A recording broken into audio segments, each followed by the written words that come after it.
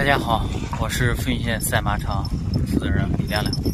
今天在我们富蕴县赛马场举办了一个全疆的比赛，参加的大多数都是咱们这个哈萨克族的这个农牧民朋友们。我相信哦，哈萨克农牧民是一个游牧民族，应该是一个很热爱环境的。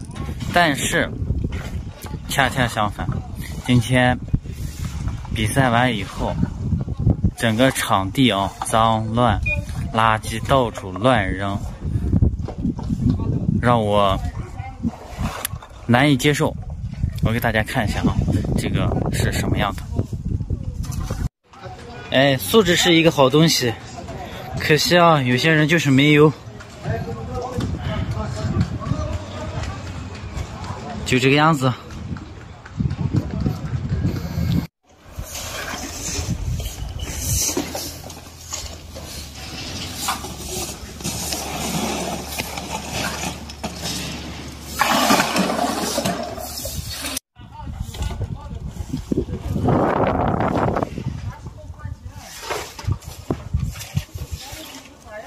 这些呢，只是我们厂区现在这个，就是第一天比赛结束，一个冰山一角，还有很多地方都是这种情况，垃圾到处乱扔，各种饮料瓶、各种奶茶瓶，还有塑料袋。